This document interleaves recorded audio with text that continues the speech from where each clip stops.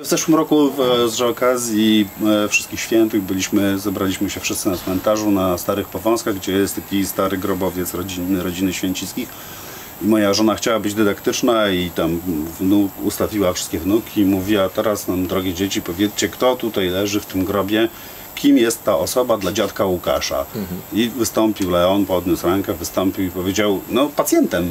A Żona mówi, przepraszam cię Leon, dlaczego pacjentem? A Leon powiedział, dziadek zawsze jest u pacjentów.